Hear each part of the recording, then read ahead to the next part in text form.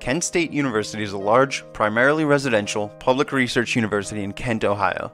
The university was established in 1910 as a teacher training school. Kent State University is an eight campus system in northeastern Ohio with the administrative center in Kent. Within the Kent State University system, the main campus is officially referred to as the Kent campus. The Kent campus is a landscape suburban environment covering approximately 866 acres, which house over 100 buildings, gardens, bike trails, and open greenery. In addition to the eight campuses in northeastern Ohio, Kent State operates facilities of study abroad programs in Florence, Italy, New York City, Cleveland, Ohio, and Shanghai, China.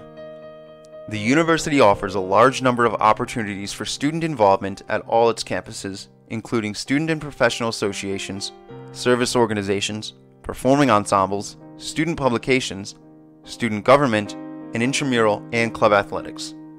Kent State's athletic teams are called the Golden Flashes, and the school colors are shades of navy blue and gold, officially Kent State Blue and Kent State Gold. Notable alumni include comedian Drew Carey, comedian and talk show host Arsenio Hall, and actors John de Lancie, Michael Keaton, and Ray Wise.